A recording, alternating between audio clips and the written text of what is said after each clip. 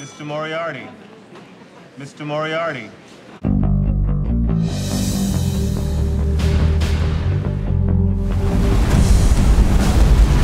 Have you ever felt like you were meant for something more? Something bigger than you.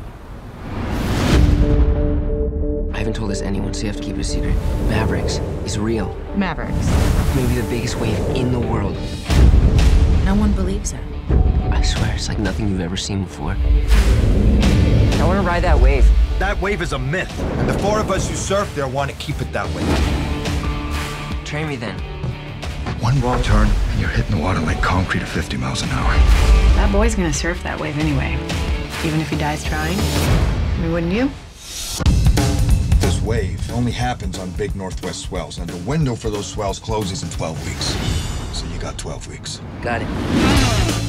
A few things we need to establish before we begin. First, Thou shalt not damage thy neighbor's car. Sorry, sir. call that the boneyard. Do not let the current push you in there. It'll smash you to pieces. You gotta hold your breath for at least four minutes. That's impossible.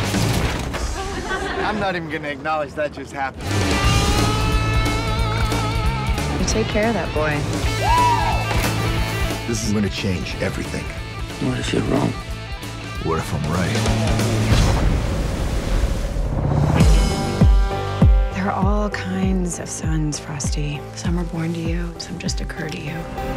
Just waking up in the You gonna slay that dragon all by yourself, or is your rent a dad gonna help you out? Half the population just waiting to see me fail. Yeah, right. This is about more than just surfing. It's about finding that one thing in life that sets you free. It's too big for the kid. Why didn't you stop him? Because it's not possible. Never was.